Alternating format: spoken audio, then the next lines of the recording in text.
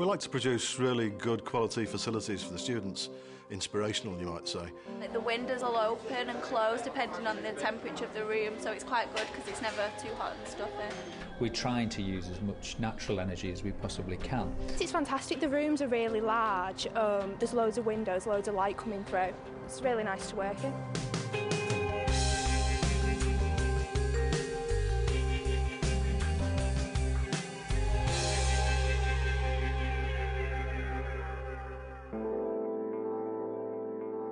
This building gave us the opportunity to provide different environmental solutions.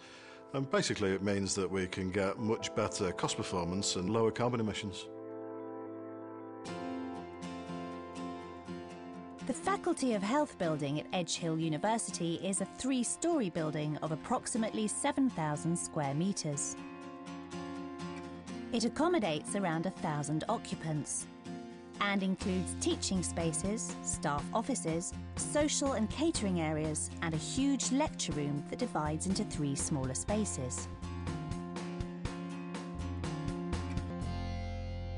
We looked at various options for renewable technologies and we elected to use ground source heat pumps and importantly solar thermal where we gather the heat out of the sun through an evacuated tube system which is very efficient and is virtually free once you've paid the capital cost and a very modest running cost.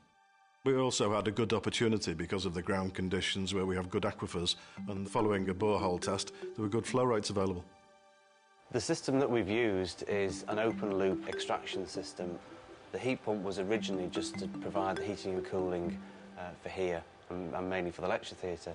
There was a need in an adjoining building to provide some cooling as well we decided that we would exploit the system further and export cooling to the adjacent link building and plan to export heating to the adjacent LRC building also. A fairly straightforward arrangement, uh, simply insulated underground pipes that connect them, controlled by a building management system.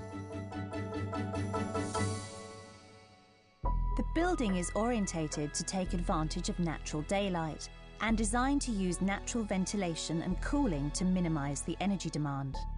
Windows automatically open to promote fresh airflow throughout the teaching, office and circulation spaces.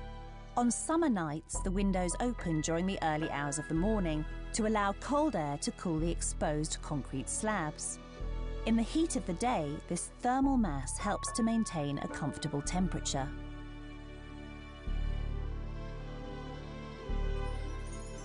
We've tried to plan the building so all areas are naturally lit and naturally ventilated. With a passive approach, you don't put particularly large amounts of mechanical electrical plant into a building, and obviously, in doing so, that reduces costs. A number of the buildings have undertaken a thermal imaging camera analysis.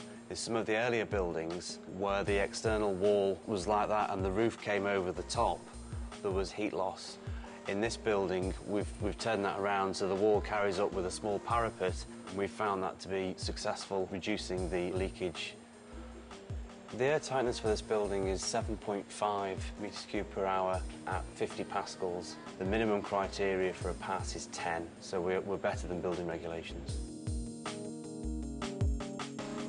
The construction of the building is fairly traditional, using brick and block together with large areas of glazing on the north-facing aspects. Where needed, artificial light has been used to provide a fresh, contemporary learning space for the students. Low carbon technology is perceived as being relatively expensive, but actually we found it to be quite cost effective. Certainly the running costs are very cost effective, and the capital cost to us was quite modest. Total budget for the health faculty was £10.14 million. The cost of the building was £1,300 a square metre, which we consider fairly low compared to other more highly serviced buildings in this sector. Carbon Trust were involved in the project to uh, monitor the various key stages of the development. The building has extensive metering, both electricity, gas and water. From the information we've been able to help improve the efficiency of the building and also looking at how the system is performing. We found that the solar thermal performance in the health faculty building has been exceptional and that's been used elsewhere in two other projects since.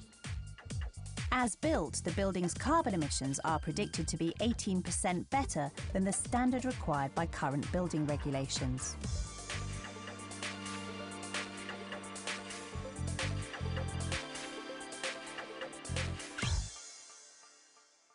Gradually been reducing the carbon footprint of each of the buildings and making them not only low energy but low carbon. The lessons learned from this building we are using with other buildings on the campus. We were pleased to win the RICS Regional Award for Sustainability, and students connect with that.